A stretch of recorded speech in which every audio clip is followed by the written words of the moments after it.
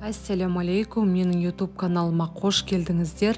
Бүгін сіздерге осындай духовкада піскен шашлык дайындайтын боламын. Каналыма тіркеліп қоюды ұмытпаңыздар.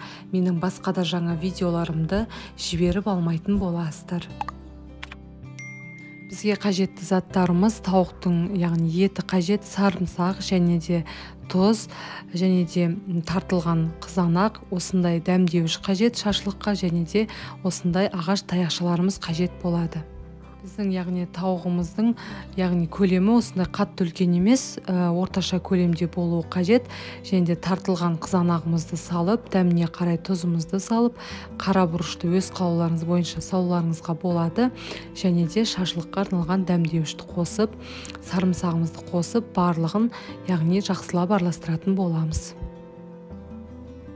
Біздің маринадымыз 2-3 сағат көлемінде тұруы қажет бетін жауып бөлме температурасына қоятын боламыз.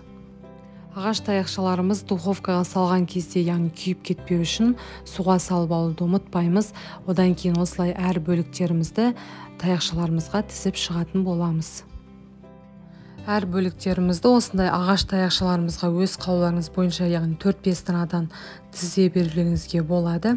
Және де осындай духовкамыздың формасына сеткамызды қойып сеткамыздың үстіне барлығын жақсылап тізіп шығамыз. Және де 180 градуста 45 минут көлемінде қызарғанша пісіретін боламыз.